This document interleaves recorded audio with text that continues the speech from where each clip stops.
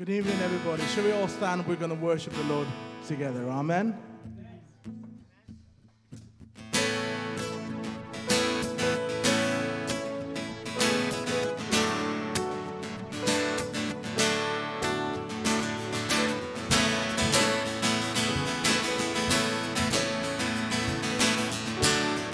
Let's sing together. We worship the God who was. We worship the God who was. We worship the God who is.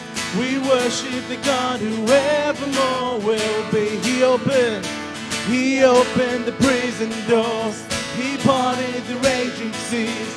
My God, He holds the victory. Come on, let's declare together, yeah. There's joy in the house of the Lord. There's joy in the house of the Lord today. And we won't be quiet. We shout out your praise. There's joy in the house of the Lord. Our God is surely in this place. And we won't be quiet. We shout out your praise. We shout out your praise. Shout out your praise, Lord. We shout out your praise. We shout out your praise. Come on, we sing to the God who heals.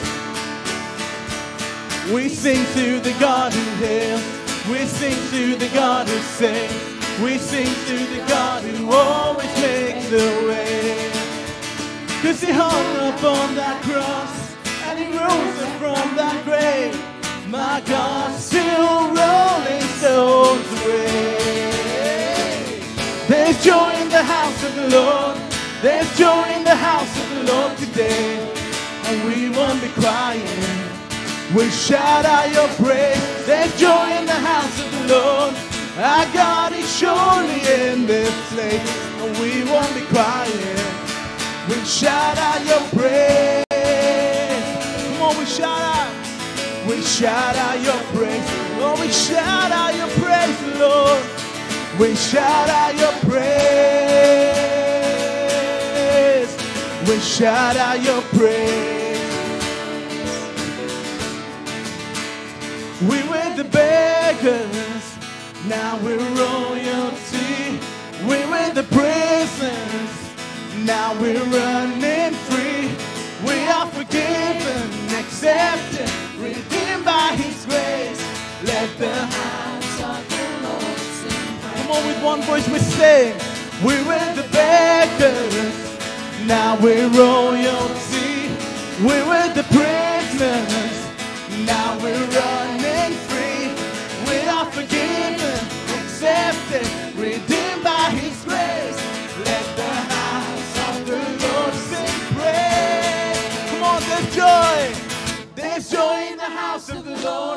There's joy in the house of the Lord today.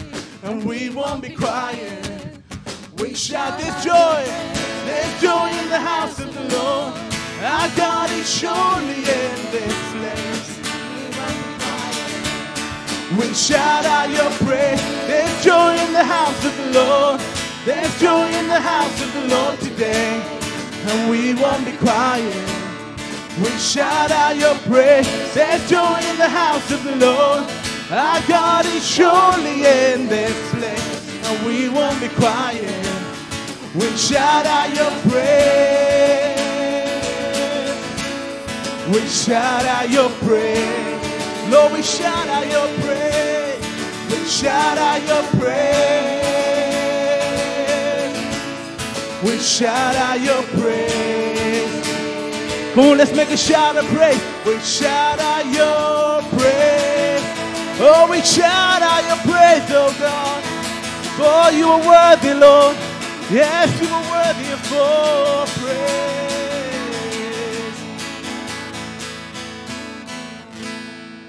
Thanks, guys. What a great start. We praise our Lord.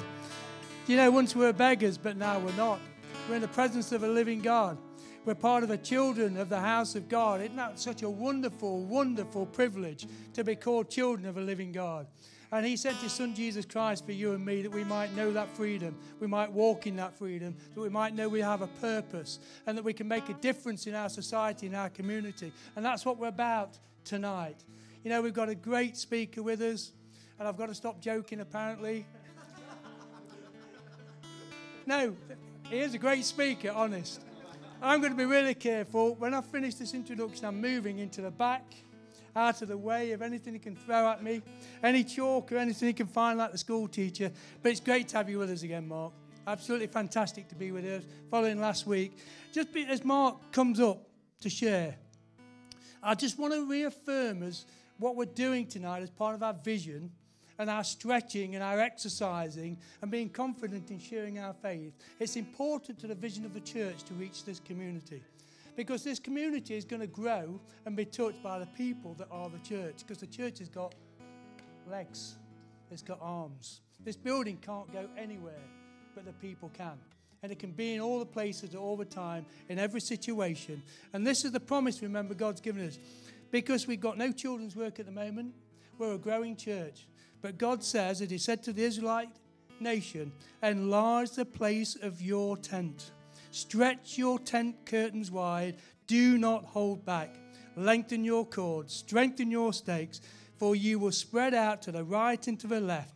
Your descendants will dispose nations and settle in the cities. We are growing as a vision of God. We're not going to build our empire. We're not trying to build something of a kingdom for ourselves. We want to build a kingdom for the glory of God. But moreover than that, even more important than that, I want people to encounter God, to know the freedom and walk in it, and to know they have a purpose in God and that they can make a difference in this community.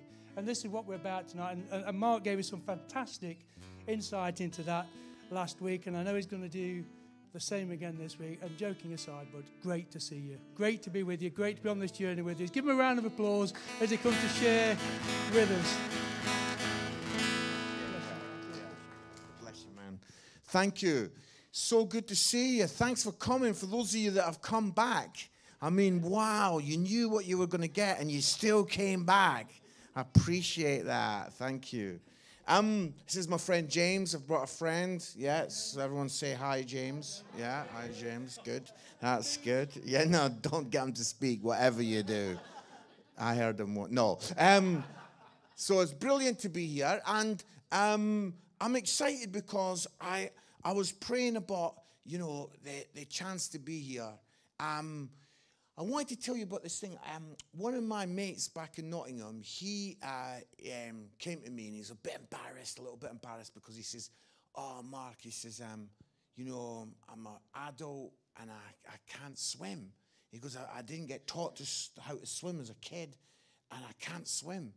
And so he says, well, I, I'm, what do you think I should do? So I chatted to him and I says, listen, you, you know, you should go for lessons. Go for lessons, mate. Even though he says, oh, it'll be terrible doing lessons. Everyone else will be kids and it'll be just me. And I'm like, that's fine, do it. So I really urged him to do it. And after the first couple of lessons, he, he, uh, he got in touch with me and said, Mark, it's terrible. Everybody's a kid. I'm the only adult there. And I've got to jump in. We've all got to grab the floats, and the kids are all there, and there's me. He says, But I, I'm trying. He says, But I- I'm not good. And he's like, "I- I'm really struggling. And then I never heard much after that. And then, unbelievably, unbelievably, I saw him on telly. He was on the news. And what had happened is, is he had jumped in. A guy had fallen into the Trent, and he was there, and he actually jumped into the Trent and got out to this guy and managed to kind of keep him up before they brought a rescue boat who went and saved him. So when I saw it like on the news, I like called him. I'm like, mate, what happened? The last time I spoke to you, you were having swimming lessons with kids. Now you're like saving people in the Trent. What happened? And he says, no, he says, you got to understand. He says, I'm still a terrible swimmer. I can't really swim. He says, but I says, well, if you can't really swim, what happened? And he said this really key phrase. He goes, Mark, he says, I suddenly realized that the need was greater than my inadequacies. The need was greater than my inadequacies. In other words, he realized that even though he was totally inadequate, the guy was drowning in the river and he needed to get in and save him, even though he felt totally inadequate. And you know, as we're here today and we're going to be chatting about evangelism, probably a lot of us feel a little bit inadequate. We feel like, oh, I'm not sure how good I am at this. But what we were chatting about last week is the need is absolutely tremendous, isn't it? People need the Lord. Amen. People need Jesus and they need to be rescued. And so I really have that thing burning inside of us that our inadequacies would just pale into insignificance because actually seeing people rescued is like the main the main thing. So if let's just quickly grab this. Do you remember we were chatting about acts chapter uh, we were looking at acts chapter 26 when paul was there in front of agrippa and, and in acts chapter 26 um, in verse 27 uh, acts 26 verse 27 king agrippa says do you believe the purpose i, bel- I believe? He says and agrippa said to paul in a short time, would you persuade me to be a Christian?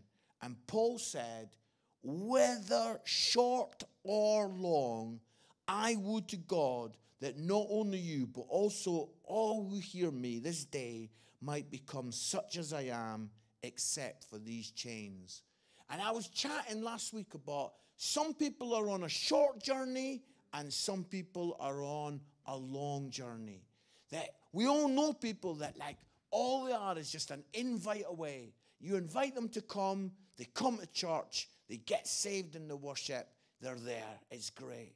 But we all know that there are some people who are on a long journey. You've probably been chatting to some people for a long time about Jesus, invited them to church lots of times, and they're still not here. And I want to encourage you today. So, I wanted to give us some tips on people who are on a long journey. The first thing I wanted to talk about is so important that we listen. We listen to people. We must be willing to listen to the needs and thoughts of the non Christian. If we want people to hear us, we must hear them. If we want people to hear us, we must hear them.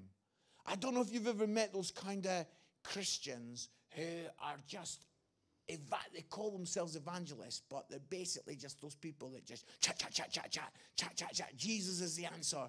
Um, I don't know what the question is, but Jesus is the answer. And it's like they're really like, and they're just jumping and they're telling everybody about Jesus. Listen, the first protocol is that we need to listen to people, don't we? We need to understand where people are coming from, what their hearts are, what their aches are, what's going on in their life. You know, it would be great for you as an evangelist, as somebody who's trying to win someone for the Lord, to go for a coffee with someone and just sit and listen to them. Listen to all their stuff. Listen to everything that's going on in their life. And maybe not even mention Jesus once, but just listen to them. Because it is so incredibly important that people feel like they've been heard. And yet, sometimes we are so quick to jump in with Jesus, Jesus, Jesus. Do you know what I mean? And it's like, oh, actually, we want to take a step back and say, let me hear you. Let me listen to you. Let me see you. What, what's going on with you? What is happening in your life? So, I wanted to say that one of the great things that we must get into is we must learn to ask great questions. To ask great questions. I love this quote. Many are cynical and skeptical against anything religious. People are skeptical of anyone who claims to have life changing answers. I mean, you guys are a bit like that as well. You know, if somebody at the bus stop's telling you that they've got all the answers to the world, you're a bit like, whoa, aren't you? As soon as anybody feels like they've got all the answers, you give them that, whoa, hold on. But everyone will entertain caring and intelligent questions. If we ask good questions, people will relate to us, they'll connect with us because People are interested in getting their story out there. And so we must become those people that listen and we ask fantastic questions. So I'm wanting you to think about open ended, open hearted questions. So, what do I mean by open ended? I'm meaning questions that do not allow people to say yes or no to. You know, when you're having a chat with someone and they just, yeah, no, yeah, no. And it's like, oh, this conversation is not going fantastically well. And it's like we need to have open ended questions that really bring the best out of people, but also open hearted questions. So it's not, we're not trying to ask questions that are trying to trip people up. We're not trying to trick people into the kingdom of heaven. We're not trying to sort of say, oh, if you were to die tonight, do you know where you would go? You know, you're desperately trying to catch people out. No, no, no, no. None of those things. Open hearted questions. So if you've got a pen and a bit of paper, I've got five open ended questions that I want to share with you. And then what I'm going to get us to do, a little bit of work today, going to keep you involved, is that before we sing again, I'm going to get us to just be in twos and threes, whatever's close, and basically come up with a great question that you think you could ask a non Christian that would get them talking. That's like an open ended, open hearted question. Yeah, we'll come to that in a minute. So here's number one. Here's the first one. I've got I've got five for you. Yeah, here's the first one. If you could ask God any three questions, what would they be? That's a good thing to ask. If you could ask God any three questions, what would they be? That's a good, the reason why that's a good question is because as soon as they start to relay what they would ask God, it really shows you where they're up to in their relationship with God. Does that make sense? They begin to like relate to you, oh, I would ask God, why is there suffering? Or I would ask God, you know, why did my baby die? Or I would ask God, do, do you see what I'm saying? Immediately, they would begin to express where they're at. Now, somebody said to me, What if they say, Well, I don't believe in God? Well, great. That, at least that's helpful and you know kind of what you're dealing with. So it's a great question. Here's a second one if you've got a pen. Have you ever been able to get a handle on what you think your purpose in life is? Have you ever been able to get a handle on what you think your purpose in life is? Wow, that's a great question to ask a non Christian and get them chatting. When they start talking about, like, oh, this is kind of like what I think, this is what I believe, this is what I think I'm on the planet for, and you begin to understand their passion and you begin to understand how they tick, and it's a really great way of starting a conversation. Does that make sense? Here's number three if God was your neighbor, if God was your neighbor, what would you bob round and ask God for? You know where you bob round to the neighbor and get some sugar or some salt or whatever you bob round for? It's like, yeah, you, you can only ask for certain things. You can't bob round for steak, can you? That causes that causes an issue. It's like, have you got any steak in the fridge I can borrow? Um, but if God was your neighbor, what would you bob round and ask God for? And it's interesting, isn't it? Like, what would you ask God for? And interesting to see how they would respond to that. Here's number four. What scares you the most about letting God change your life? What scares you the most about letting God change your life? I think that is fascinating because it's like, what is stopping you from having a relationship with God? And they begin to talk. And here's the fifth and the final one for now. What would God have to be like for you to want to know Him? What would God have to be like for you to want to know Him? And I think this is brilliant as well because, you know, they begin to say, well, if God was kind, then I would be happy to know him. And you're able to say, God is kind. The Bible's full of the kindness of God. Or they say, oh, if God was forgiven, then I. And you're like, but God is forgiving. And it's a great opportunity for you to say, a lot of times, the God that people rebel against is not the God of the Bible, it's the God in their own head. Do you get it? Because it's like they've thought of what God's really like, and it's like, no, God's not like that. You know, and they've kind of got this picture of, of who and what God is like. So, if you were in Starbucks or Costa or Caffè Nero or wherever you like your coffee, we had some in that bike. Is that bike shop still there? Yeah, yeah. Well, is it? It's still there. Good. And um, it was what say?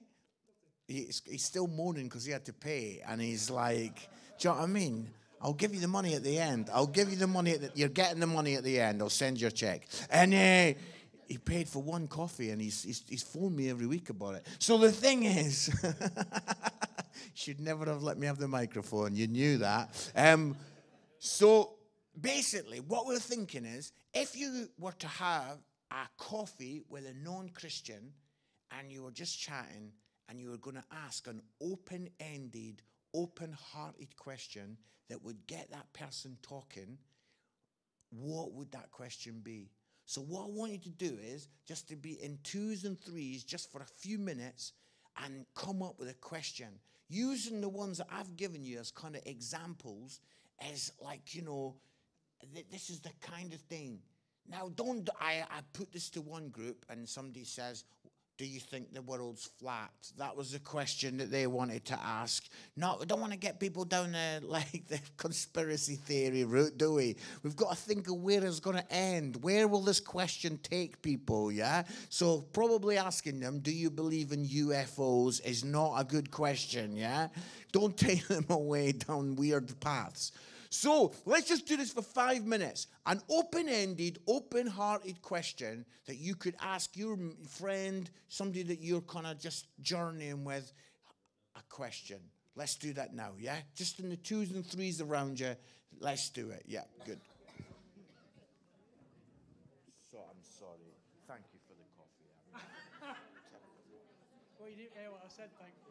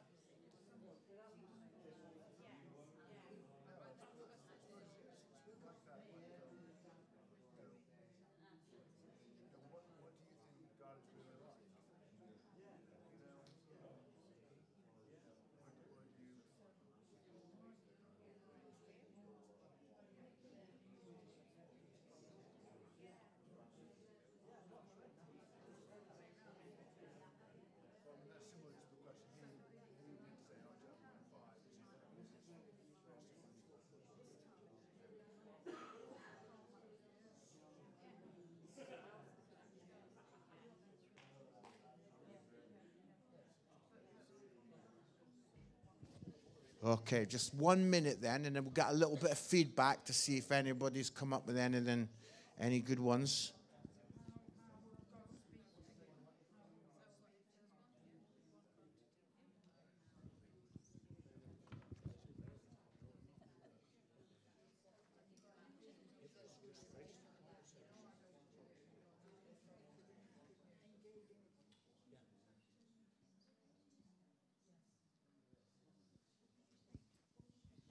Right.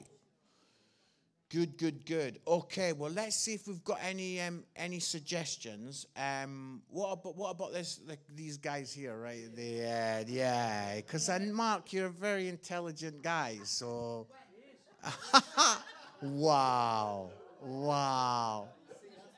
I know that's not right. Yeah. so. So we've gone on the back of one of yours. Yeah. That is good. So that was he said. Um, we've all got questions about life. What would your what would yours be if if you came face to face with God? That is that's a great question because that really gets steady. Uh, oh, there's people over here saying that's what I said. Yeah, yeah, the old classic. Oh, that I was just to say that. I was just to say that. Oh, the family. Yeah, keep it in the family. I like that. Have you guys got something similar to that? Brilliant. Love that. What about you guys? What did you have?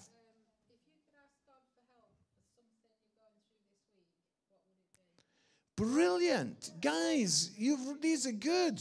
No, honestly, I went to one place and I set this exercise, and it was an absolute nightmare because people were like, What do, do you think Elvis is still alive? and things like that. It was like, I thought, Oh my goodness, what am I doing? But these are good questions.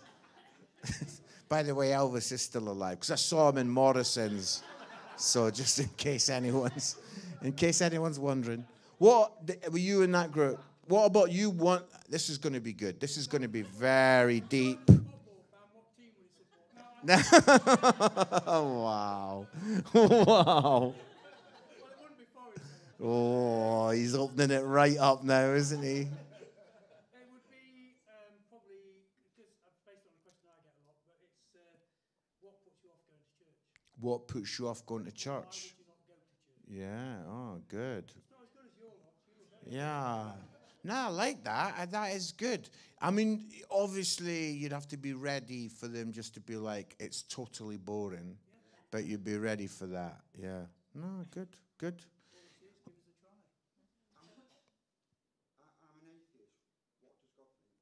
Oh, so you, that's that. It's like, I'm an atheist. What does God think? Oh, wow. That, that would be, that would set the cat right amongst the pigeons there, all right? I like it though. I like it. Yeah, yeah, yeah, yeah. No, that's good. Anyone over here? What did you guys have?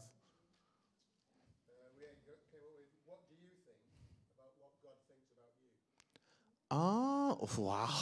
That is good. That is good. I like that. That's really good, like open ended, open hearted question. Brilliant. Yeah, yeah. What about the guys behind? What did you come up with? You did. be honest, we came up with the one that, that said about why people didn't go to church, but we, were, we thought that might not be an open-ended question. Yeah, yeah. No, no, no. Interesting. Anyone else got any any others that they want to? Yeah, yeah. At the back there.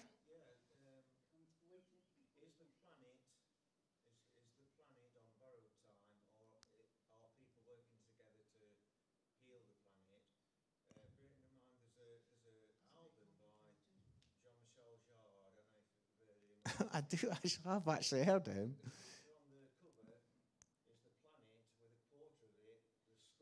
Right.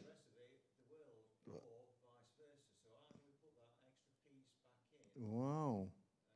Oh, wow. I mean, it would definitely open up a very interesting conversation. Yeah. I mean, how you would get it round to God and the kind of, that would be a challenge. But no, it's good. It's good. Yeah, yeah, yeah. No, exactly. Good. Yep, back row, the back the back row ladies, what have you got? Go on.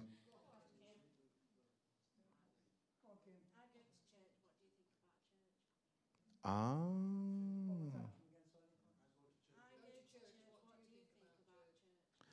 Good.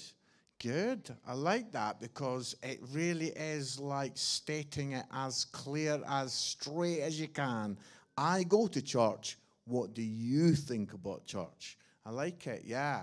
So, uh, what I've enjoyed about um, your answers has been that all of them are kind of definitely going to open people up and kind of like get people talking. And that's like the whole nature of the thing is to try and get people having a conversation.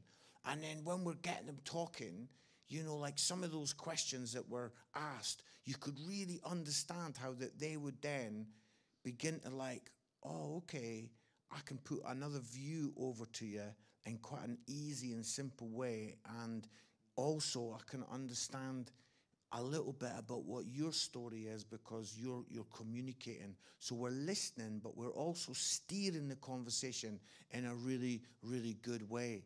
So, like a little challenge that I've been setting myself recently is, you know, how about thinking like, could I sit down with a few questions like that with somebody and have a coffee with them and just kind of ask them a few questions and just steer the conversation.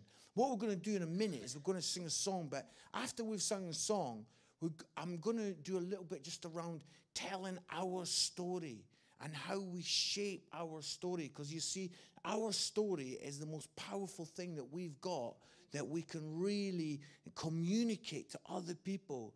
And I want to kind of, I remember um, seeing this thing, cow, my, my brother and me used to be really into cowboy and Indian films. You remember the cowboy and Indian films? And basically, um, remember that this um, one scene where basically the cow, the cowboy guy had gone out and the lady was in the house on her own. And these, these bad men came into the house and she panicked and she ran and she got the rifle from the rifle cupboard, all the guns, and basically she'd never used it before. So she had this weapon that was powerful and strong, but she'd never used it before. And then when they came in the room, I'll never forget it. She like started firing, but because she'd never used it, she was shooting up into the roof and she was shooting all over the place. And because she'd got this weapon, but she'd never ever learned how to use it properly. And you know, we've got this powerful weapon, and our story is the most powerful thing we've got. And yet, if we're honest, a lot of us, we've not really learned how to use it properly. You know, if, if there were some non Christians that came in today and you would give, had the opportunity just to share your story, you know, would it be a bit rusty? would there be bits of it that you would be like kind of waffling, sort of saying stuff that you know, like, oh, what's that got to do with anything? Or would you kind of be able to do it in two minutes? Imagine if I said, I want you to share your story, how you came to faith in two minutes. Would you be able to do it? So we're going to kind of do a little bit of work around that. So guys, if you don't mind, we'll just sing a song and then we'll we'll crack into that. That'd be great.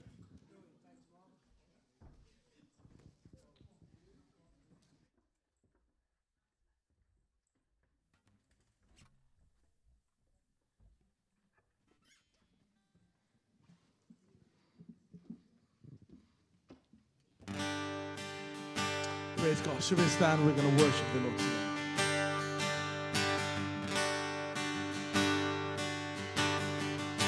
I raise a hallelujah. I raise a hallelujah in the presence of my enemies. I raise a hallelujah. I raise a hallelujah. louder than the unbelief. I raise a hallelujah. My weapon is a melody.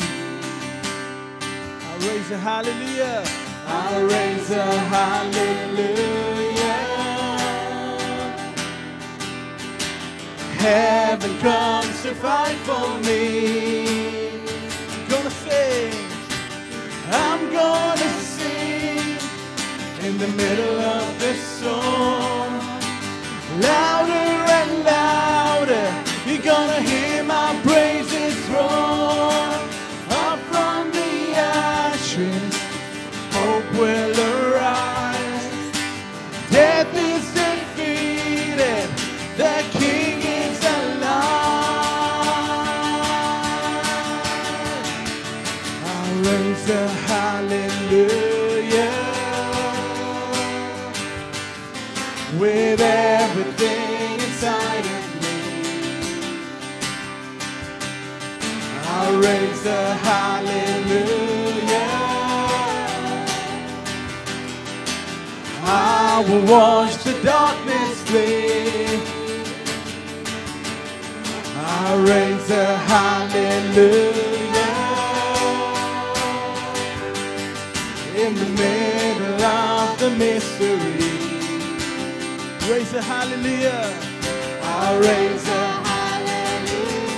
church with one voice we declare, Fear you lost.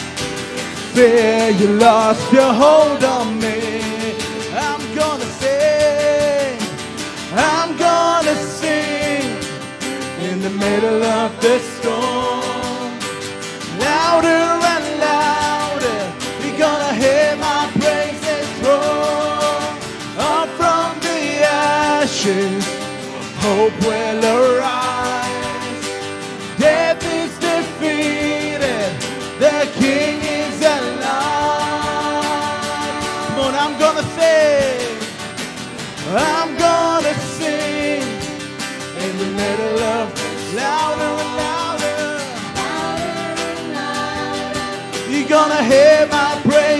from hope will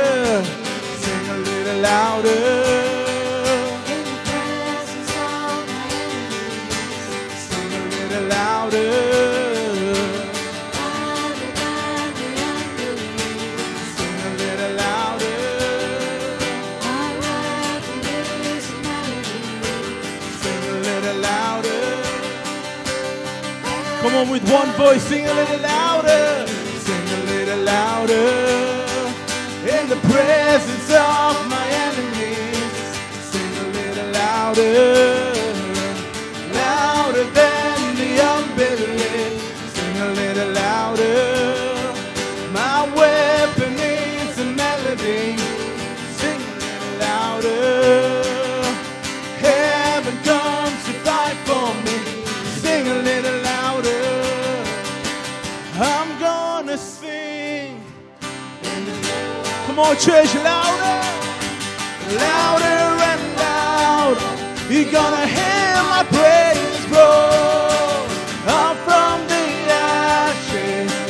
Hope will arise. Death is defeated. Death is defeated. The king, I'm gonna say.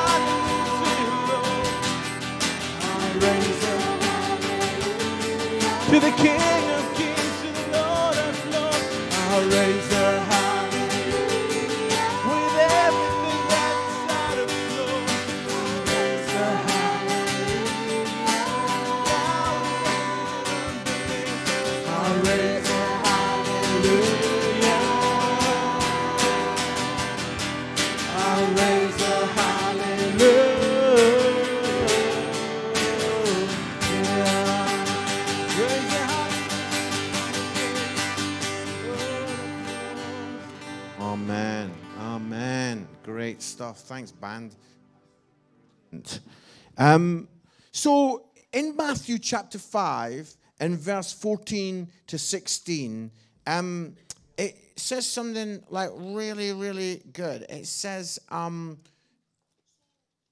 I can hear myself speaking. Um, it says, Matthew 5, 14, 16, You are the light of the world. A city set on a hill cannot be hidden. Nor do people light a lamp and put it under a basket, but on a stand and give but on a stand and it gives light to all in the house. In the same way, let your light shine before others, so that they may see your good works and give glory to your Father who is in heaven. So, guys, we are the light of the world. We are those that bring light. And what I find incredible about this is that when you think about light, lots of Christians, when it comes to evangelist, evangelism, just think about the spotlight in people's face, that blaring light where it's like, you know, wow, and it's dazzling and it's overpowering, and it's like, oh my goodness. And for such a long time, that was kind of like the evangelist was like the light that just gets in everybody's eyes and basically everybody wants to back off from because they're just too much. But the incredible thing about light is that light can be really nuanced. Lighting can be really beautiful. You know, companies pay millions of pounds to get the lighting just right. And we as the church have got to learn that like when it comes to evangelism we've got to be nuanced we've got to be multi-layered we've got to be different it's not just about that blasting now those of you that know me know that there are times when i really am that light in people's eyes i am like jesus died on the cross for you you need to get saved today. If you don't get saved today, you might go from this place and you'll never get another chance. I'm that guy. Um, just before Christmas, I think I told you last week, but 247 people made a first time response to Jesus at that event. So I believe in full on, in your face evangelism, but I also believe in the nuanced sense that sometimes the most powerful evangelism is just you putting your hand on someone else's hand and saying, I'm here for you, I care for you. And it's just being the grace of Jesus. And it's just being the light in a completely different way. Does that make sense? Is that it doesn't all have to be the same kind of light all the time. We don't all want to go from here and get sandwich boards made and go out into town and kind of be like, you know, you're all going to die. Here's the good news. You're all going to hell. Do you know what I mean? If that's the good news, what's the bad news? It's like, you know, we've got to realize that light can come in many different ways. That we, you know, the event that I'm going to be doing for you in April, you know, we're going to have some laughs and there's going to be a lot of humor and there's going to be a, like that opportunity for people to respond to a message. And we want to do it differently. When I'm up at the Edinburgh Fringe, I cannot be in shows shouting that everybody's going to hell because they'd kick me out. So I've got to do it in a much more nuanced way. And I really love that you guys understand that. You know, you have supported me in my ministry for a lot of years, a lot of years. And I was telling James on the way here that, you know, I'm so grateful that there are people in the church that sponsor me, the church sponsors me, and I'm so thankful. And I think that you've understood that, you know, this light that we are to be can be in many different kind of ways. It's not all about just like a revival light blasting in people's eyes. It's not just about a judgment light. So I'm really excited that we're going to get this chance in April to do this event where there's going to be food, there's going to be humor and comedy, but then there's going to be an incredible opportunity to hear a great message. So that's going to be cool. So, five tips on how to tell your story. Five tips on how to tell your story. Number one, keep it as tight as you can. No waffling. Now, some people, there are some people that find it easy, and there are some people that find this very difficult. Try to keep it to three to four minutes. Wow, can you do that? Can you communicate any message in three to four minutes? Some people can barely tell you what they're watching on telly in three to four minutes. They've got to tell you the whole deal. No waffling. Keep it tight. Keep it really succinct. It's really good to be able to give you a message. Now, sometimes we're given a bit of grace and we get the opportunity to have 10 minutes. Or sometimes people have got a lot of grace for us and you might get a chance to tell it in half an hour. But we've got to learn the discipline of telling it in three minutes because that's exactly the kind of bite sized message that most people have got time for. And it's like, wow, if you were in the lift with somebody from floor one to floor nine and you thought, I'm going to tell my story, could you do it in that time? Oh, great. Number two, avoid all jargon. Avoid all jargon.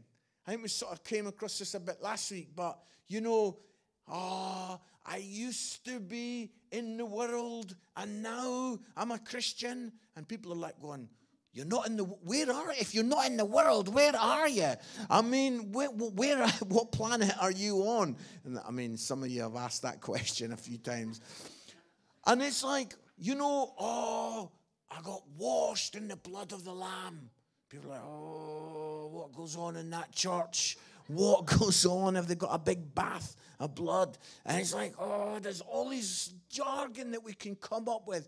And it's so important that we speak the language of the listener and we do not use jargon. Number three, can you use a before and after model?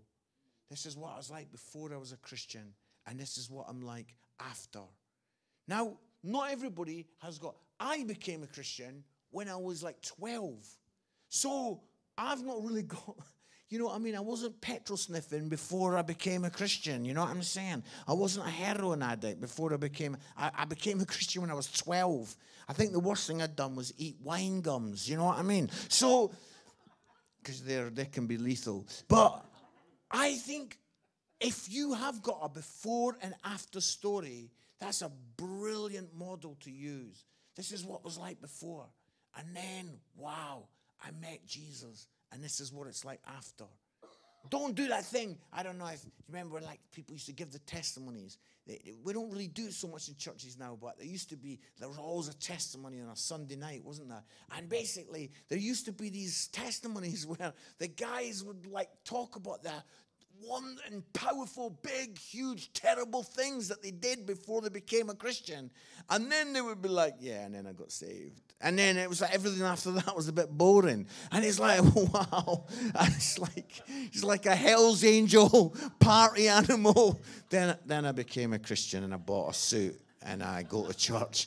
It's like, no, no, no, no. We've got to like relay this and communicate in a good way. And it's like, can I talk about what happened before? Can I talk about what happened after?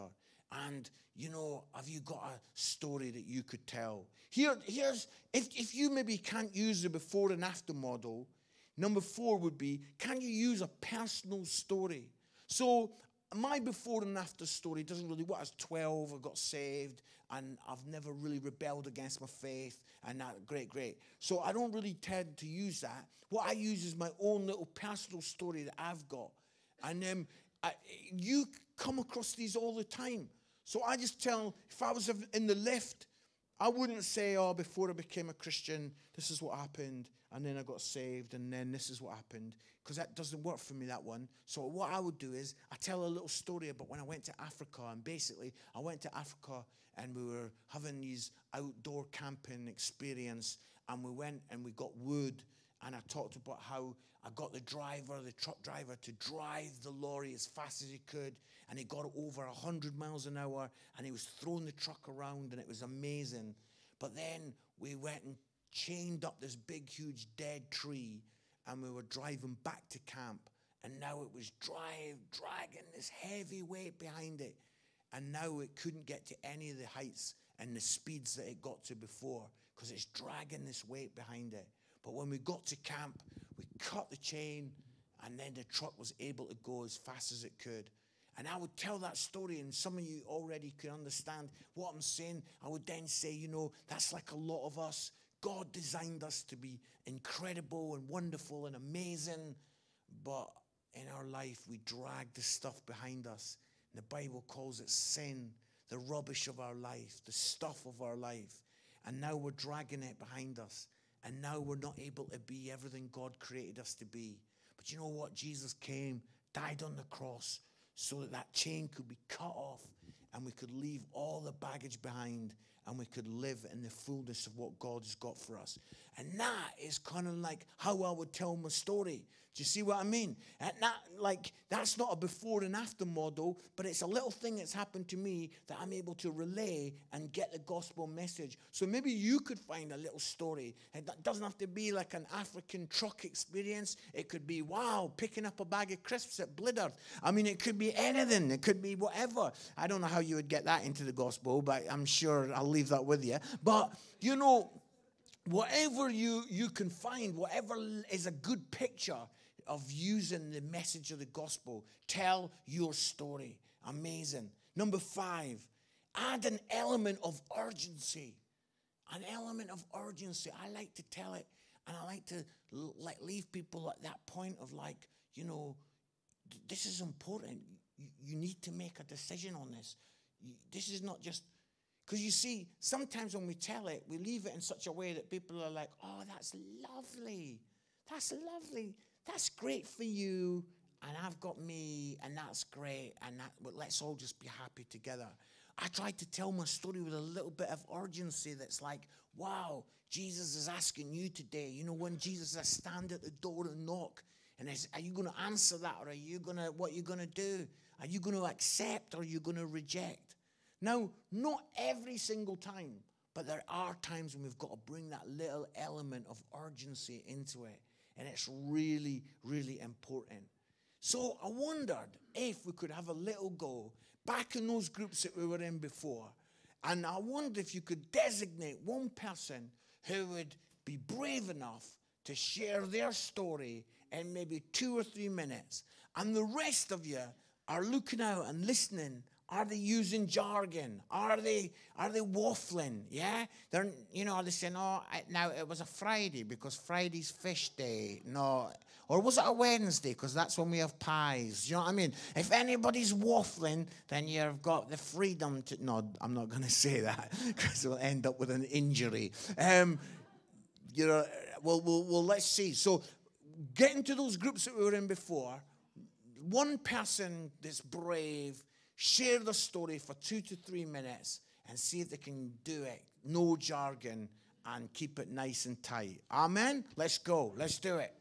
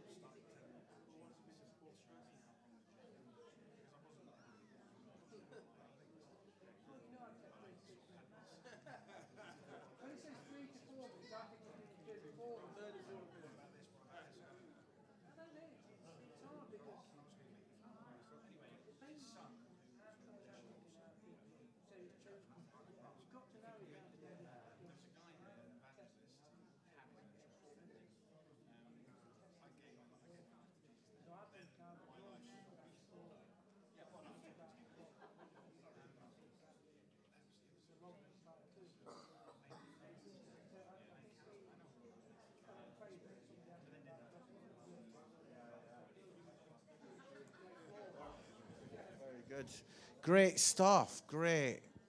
Amen. Ah, ah, ah, um, amen. Great. Good.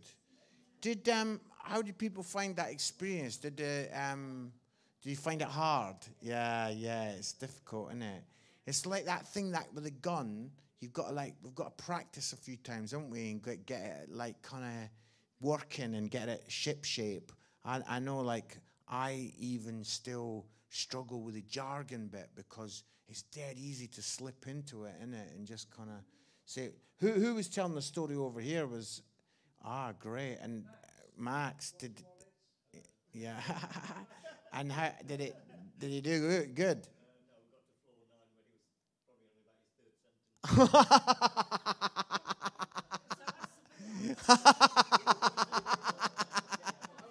was trying to explain. I've got like there's two different versions of like if I'm giving a testimony or talking about God, like to Christians, Yeah. I have one story. Yeah. That's more interesting than well, not as that it's they're, they're, they're both interesting, but like the, if I was talking to someone who maybe doesn't know God, Yeah. who God is, then I have a different way of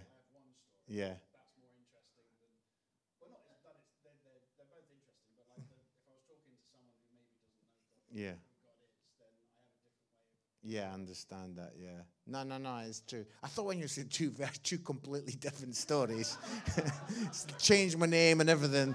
So that would be brilliant. It's like to the Christians, I'm Jack, and to the to the non-Christian, I'm Tony. But no, I, li- I like that. I think I think um, the, the jargon's a little bit um, difficult. If people find about the time, trying to cut it and narrow it and shave it down, how did people find that? Did you find that difficult? Yeah. I know, very true. And also the, the thing about not waffling. Did anybody have a bit of the waffles going on? Anybody a waffler, or do most people keep the keep the waffling down? The waffling was kept to a minimum. Well, one or two people looking the other way. I, I think, I mean, obviously, you know, like when we get our opportunities, we've got to take them. But I think it's just that thing where I've, I've seen like we've got the chance with some people, and then people, I'm listening and they're waffling. I'm thinking, oh man, this is a golden opportunity. And you're chatting about stuff that's easy to slice out. You know what I mean? You, we sometimes in our conversations we go down little rabbit holes that actually, if you think about it, you, you didn't really need to say all of that. You could have cut that out and like get it down to that little. And and they say about like you know speeches and everything and preaches. It's much more difficult to speak for a short time than it is a long time because with long you can just be like, do you know what I mean, and go round the houses. But to keep it really tight, it is very, very difficult. But we want to try and make the most of that opportunity. Now, it may be that you're brilliant for two minutes, and then that gives you the opportunity because they might be like, oh, I really like that. I, I want to ask you some more stuff, and you get a bit more time. But better for it to be like that than for them to be like, oh man, how do I get away from this person? Do you know what I mean? Waving the flag of submission, saying, You've got me, I don't want to stay. So I want to encourage you to invite, and I want to encourage you to share your story. And I want you to realize that all of us feel like we've got that nervousness about offending people. You know, somebody said to me recently, I just don't want to be known as a Bible basher. And I understand that. We don't want to, we, but it's that thing of like sometimes we worry about stuff that actually is not for us to worry about. It's like hand that over to Jesus and be like, do you know what? Like, I want to give them the opportunity to hear. I've often said to people, you know, if you had the, the cure for cancer, you wouldn't be worried that people might misunderstand. Do you know what I'm saying? You wouldn't be worried that people might think, oh, that was a bit presumptuous. You would just want to tell everybody because you'd want to help people. And yet we've got the greatest, greatest story, the greatest truth, this gospel. And um, exactly, USP. And I um, was in Glasgow speaking. And um, this is this is on. Some of you know my wife Tamsin. She's you know a great woman of God, but sometimes I wish the Holy Spirit would not speak through my wife. Do you know what I'm saying? It's like, use someone else. God, please. Talk through anyone, just not my wife. But the Lord, and what happened is I told you that I had that amazing event at Christmas, and I was really buzzing. And I, I came home and I told my kids and I told my wife, oh, this amount of people became a Christian. And my wife said this. She goes, oh, Mark. She goes, when was the last time you like actually spoke to somebody away from the microphone, away from your big stage, and actually witnessed to them one to one? When was the last time you did that? And I was like, oh. Do you know what I'm saying? I mean, Lord, why? And uh, I was like grumbling away, and the Lord was talking to me. And I thought, no, do you know what? He's right. And I was just recently, I was in Glasgow, and they put me up for the weekend, and I was in a bed and breakfast. And I was there having breakfast on the Sunday morning, and uh, there was two other women in, the, in having their breakfast. And I felt the Lord like nudge me. I don't know if you. Why does the Holy Spirit always have bony elbows? You know what I mean? He gets right in here, doesn't he? And he's like, "You need to." And I'm like, "No." And I've got all this stuff going on. I'm like, "God, I can't just. What am I gonna do?" And I really felt, "No, I need to do it." So I finished, and I stood up and I went, "Oh, ladies!" And you know that moment. He's like, "Oh, ladies!" They just like. Ah the heads move up. What is this man going to say now? It's like that moment's time is suspended. You're like there, ah.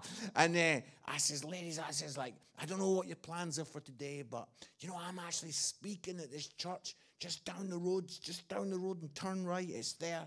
And I says, and it starts, and I told them the time. And I says, you know, it'd be amazing if you could come. I says, wouldn't it be brilliant? I'd love it if I got up to speak and you two were in the congregation. That would be amazing. And uh, all the time in my head, I'm going, this voice in my ear going, Oh, you're so proud, you know, thinking that they would want to come to hear you speak. And I've got this ringing in my ears, and I'm like, No, keep going, keep going. And I says, No, no, honestly, it'll be a great message. It's a good church. You should come along. It's great music. You'll really love it. And uh, says, Well, do you know what? We've not got anything this morning. We're doing some stuff this afternoon. We might come. So I thought, okay, well, maybe. And then I went up the stairs and I was like really calm. I was like, oh, you know, bless you, bless you, great. And I went into my room and I'm like, and then I heard them come up the stairs and walk along the corridor and I was like, like following them in tongues and uh, praying my heart. And basically, then I went to church on the Sunday, and when I got to speak, there they were. They were in the congregation. And one of the ladies responded and became a Christian. So I was like, wow. And you know, I just want to encourage you that, you know, I had so many reasons for not speaking up. You know what I'm saying? I had so many things in my head saying, don't be daft. You're not going to do that, are you? In the breakfast room, what? That's weird. But I actually thought, you know what? I want to give them the chance to say no. I want to give them the chance. What are they going to say? And they actually both said yes and they came. So I want to encourage you. And, you know, I want to say, really use this event that's coming up in April. Why don't you invite three people? Why don't you choose to say, I'm going to invite three people to this? And, you know, if none of them come, that's not failure. Yeah? It's not about whether they come or it's about the fact that you asked them. That's the success. The success is that you asked them, you invited them, and um, said it's going to be a fun event and it's going to be a lot of laughs, and you should come along, and, and then there'll be this opportunity for them to respond. So I wanted to, as we're coming towards the end, I wanted to, I wanted to just say that I heard this amazing story about a, a, little boy that had gone missing in just outside London, in, a, in one of the suburbs, in a, in a village outside London. And it was a Friday night. And I found this amazing that everybody came back from their working week and everyone was getting ready. Some were going to go out into the city of London. Some were going to go and see an opera. Some were going to go out for meals. Some were going to go and have a drink. Eh, the village had all got their plans of what they were going to be doing. But then all of that changed because the dad running across the green, screaming and shouting, My son, I've lost my son. My son's gone missing. My son's gone. Now, I had this great idea that I thought would be brilliant, and I told my wife, and she says, Do not do that, right? Because what my idea was, on the first week, last Thursday, uh, last Wednesday, sorry, I had this plan that I was going to start speaking, and I was going to have somebody with me that none of you'd met. They were sitting in the car, and as I began to speak, they were going to come running in at the back and say, My son's missing. Would you help me look for my son? My son's gone. And of course, every one of us would get up and we'd all go, We've got to help this guy. And then we'd all get into the car park. And then I would say, Oh, guys, it's only a drama.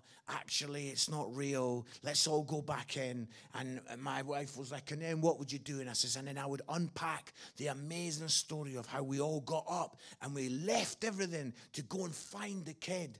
And she said, and they would all hate you, yeah? And they would all kind of like not hear another word that you said because they're still thinking about the fact that you got them all out in the car park. And I was like, yeah, actually, that is true. I'm not going to do that. But the idea was amazing because, you know, if somebody did come running in here and started shouting, oh, my son's lost, my little boy's gone, we'd all get up, wouldn't we? And we would do everything we could do to find that kid.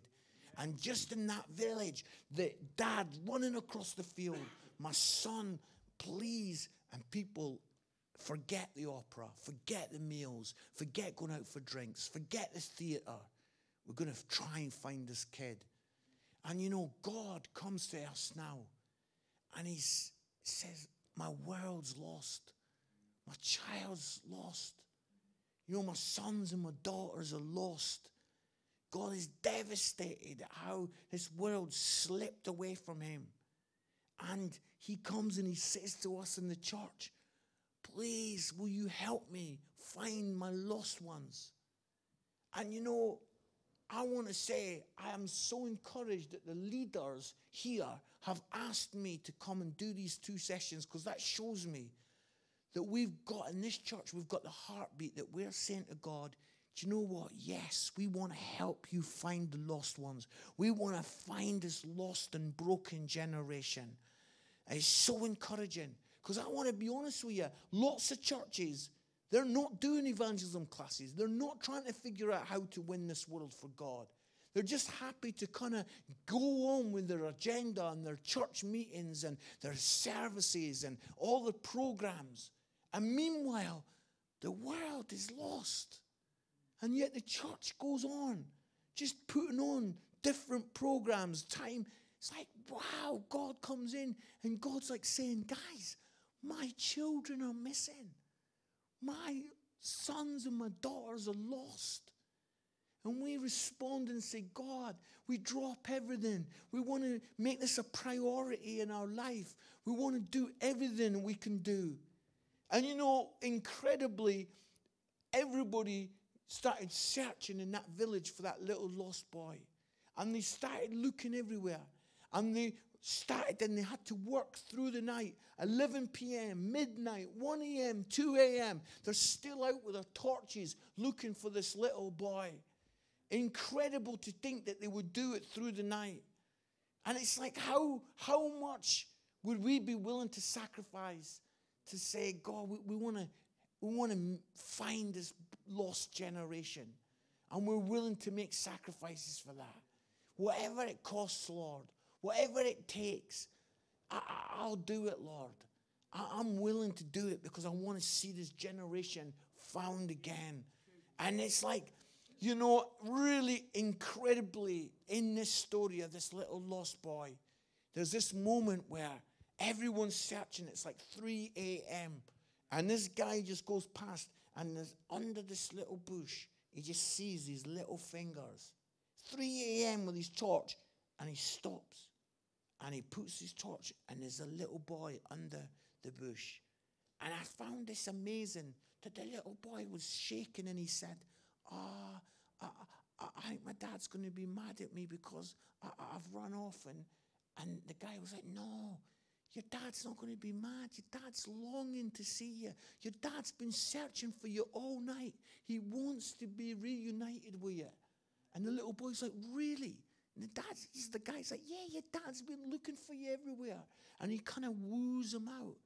And you know, I want to say that our job is that, you know, this broken and lost generation, they, a lot of them have got messed up ideas of what God is like and that God's angry with them and that, you know, God's.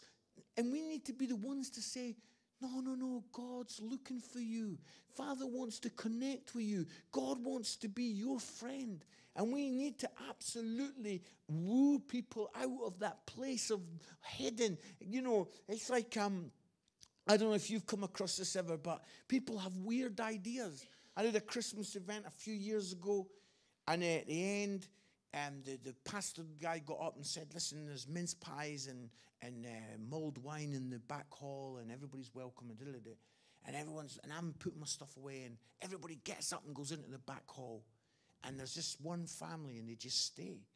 And I'm putting my stuff in my bag, and I'm chatting to a few people, and I just see this family. So I go over to this family, and I'm like, Oh, hi, guys. You know, and they were like, Oh, that was great tonight. We loved it. I says, Are you coming for mince pies and mulled wine? And they went, Oh, no, no, no, we're not. Because we're, um, we're, not, we're not members. We, we, we, this is our first time we've ever come here. And I says, Oh, no, no, but you can come. And they're like, Oh, no, no, we're not signed up members. You've got to be a signed up member uh, to come to this church. And I was like, No. And I had to explain to them that it's not a golf club. You don't have to become a member. It's like, you know, everyone is welcome. And I took them through and got them sorted and, you know, really unusual, weird. But you see, the thing is, so many people out there, they've got all kinds of unusual things that they think happen in this room. They're like, oh, if I come, do I have to kind of, will I have to put my hands up in the air? Will I have to kneel down? They don't know, like, and it's our job that we've got to woo people and say, no, you're welcome. Father God's looking for you. He's looking for you. He's longing to connect with you. And what an amazing story is that man found that little boy and he helps him out from under the bush. And then he's, they start walking back towards the center of the village. And a shout goes across the village. He's been found. We found him. He's found. He's found. And then there's this amazing bit where the dad comes running across. And the little boy and the man said, What a privilege it was to be able to see the little boy run into the dad's arms. And the dad grab hold of him. And the dad was like, You were lost, but now you're found. You're dead, but now you're alive. And it's like, wow, think of the privilege for us, friends. If we were there in that moment when we get the chance to see the lost come and be found in the arms of the Father. And you know, that is what I'm wanting to pray as, a, as we just finish. I want to pray that, you know, that we as a church, we will see that moment where it's like we will see people come to faith. That we'll see that this church will be a place where people will find that sense of being with the Father again. They were lost, but now they're found. I, I, was praying a few days ago for tonight, and I was praying and saying, God, wouldn't it be amazing if, like, a businessman was to get saved in the town and come? And, and wouldn't it be amazing if, like, a homeless guy got saved and was to come? Wouldn't it be brilliant if families were to come and, and, and get saved? And, and we would see community turned around, and we would see people sit in these chairs that were not here ever before, and now they've come to faith. And I know that's the heartbeat of the of the church leaders, but I really want to pray and believe that like salvation would spring up in this place.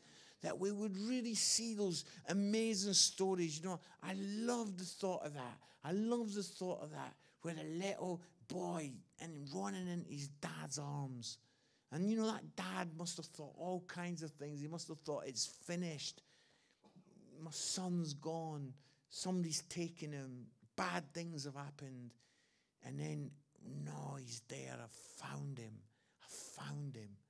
And I just want to pray in a minute that we will have these moments where I just want to believe that you're going to see young women that are going to be like, I, I found Father God in this church, in this place. I want to believe that we're going to have young guys with all their mess and all their stuff and all their complicated lives and all their complex needs and difficulties, but they're in here saying, oh, Father God found me here and I, I, I found God. Amen.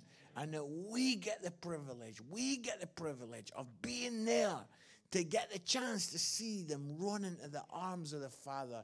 You know, that's why I love what I'm doing.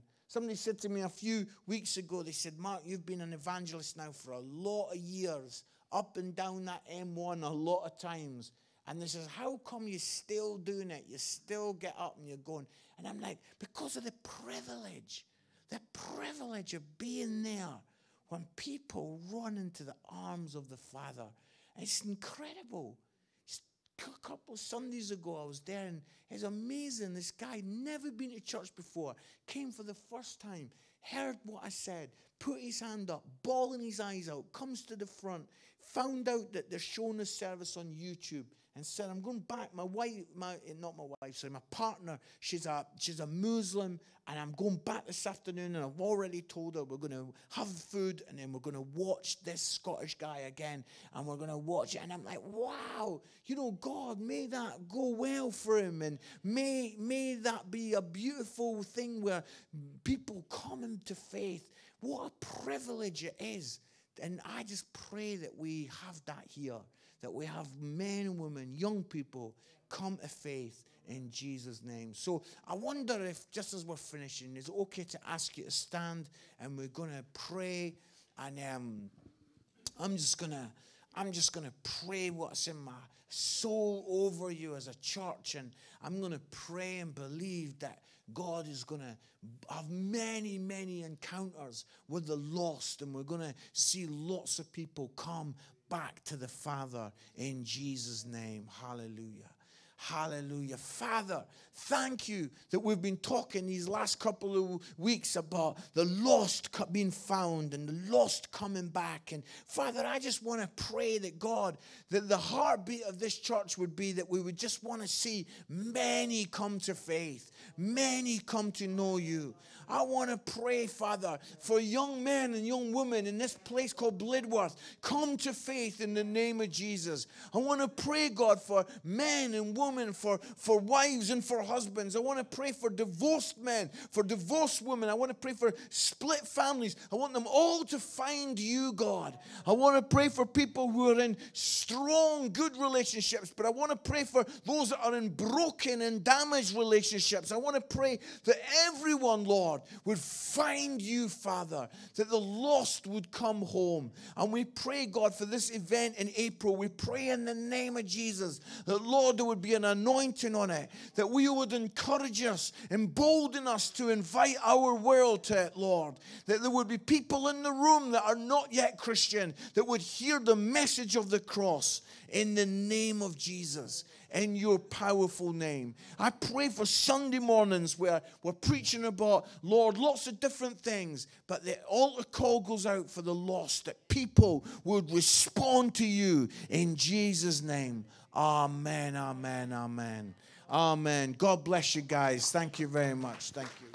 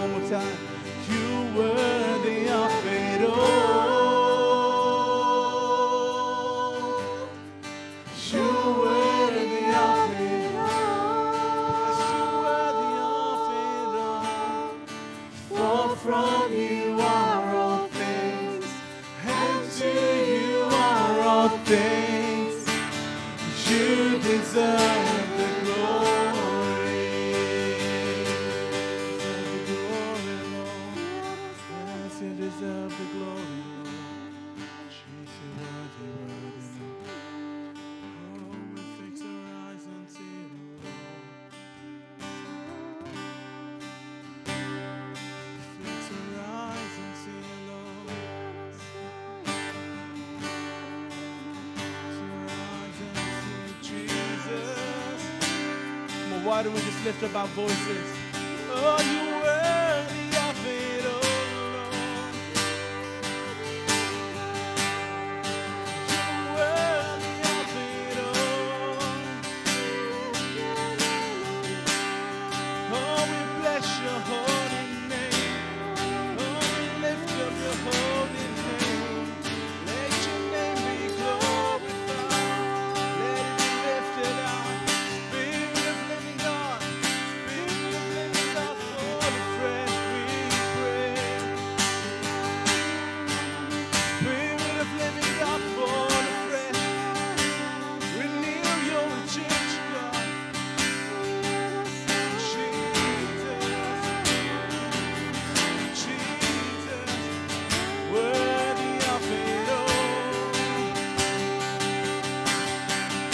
and night. Day and night, night and day, let worship rise. Day and night, day and night, night and day, let day and night, oh let worship rise. Day and night, night and day. Come on with one voice, day and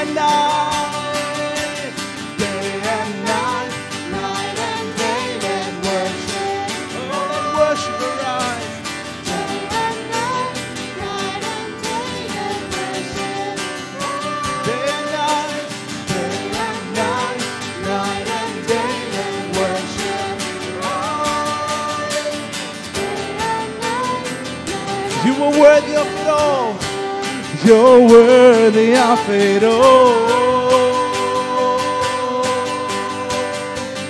You're worthy of it all.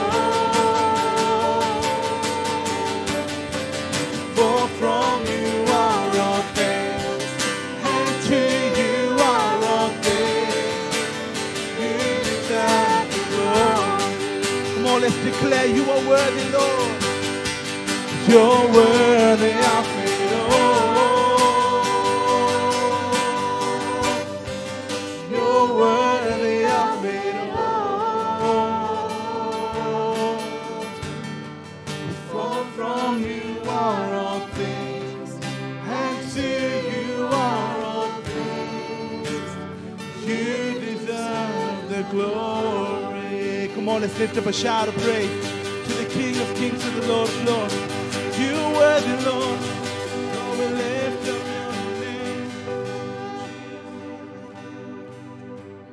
It's worthy of our praise. You know, God is worthy of it all. Mark, I just want to thank you for the sharing echo in the heart of this church, the heartbeat of this church. What we want to accomplish, not for our glory, but for the glory of God. To see people's lives transformed, touched, restored, back into the family, to know that their children are living God. We have a desire to see that. We have a desire to see that and to break through. To break through, to help people. See that. Be on a journey with them. Be with them. Give them time. Thanks again, Mark. It's been unbelievable. We're 15th is the date you need to get in your diary. 15th of April. 15th of April. You know, we're going to have a KFC or something. I'm sure the food's going to be top notch. Absolutely fantastic teaching. Really appreciate it. Thank you very much for crossing the border and being with us. Two, two Wednesday nights. It's been fantastic. Thanks for the team and the worship and the team up on deck there. Thank you for your efforts and time and getting us online. For those that couldn't be with us tonight, they've seen it online. So that's been, been, been great news. Uh, it's fantastic to see you all coming out on a, a dark night. And it raining when we set off, so it's fantastic. But you know, know, I can't, I can't say much more than Mark's already said. But you know, it's down to us. Have that boldness and confidence to invite, to share our faith. I think last week you encouraged us to memorize scripture, didn't you? Mm. And I was thinking about when I was might be put on the spot to share a three to four minute testimony. which Most of you know that how difficult that would be for me. I've decided that what we need to do in each one of those categories that Mark said is have a pre-prepared thought about what I might say in either situation in that. Think about what I'm going to say in that situation. But hope that I'm on the lift in the Empire State Building and I've got and I've got 300 floors in order to get the message across. But it's good to think about what our testimony and how we might share that in those circumstances. All right? Great to be with you, and uh, we'll see you all on Sunday, I'm sure. Give our love to Liz and Mike back at Ollerton. We appreciate you coming out and coming this way. Uh, we're not inviting you on the 15th, but just keep the 15th in mind. Have you? Oh, cut back on. Where's Mark? Cut back on the lasagnas then, Mark. But great. But thank you so much for taking time, being with us, and sharing with us. And uh, you know, we're into, we're all one church. We're all about just seeing people, in whichever community they're in, coming to know God. No, it's a pri- privilege. Thanks, guys. Bless you. I feel like it's a Sunday I was going to do the blessing over you, but I'm not quite sure that's appropriate. On Lord bless you. Have a great week, and we'll see you Sunday. We'll see you all Sunday. Amen.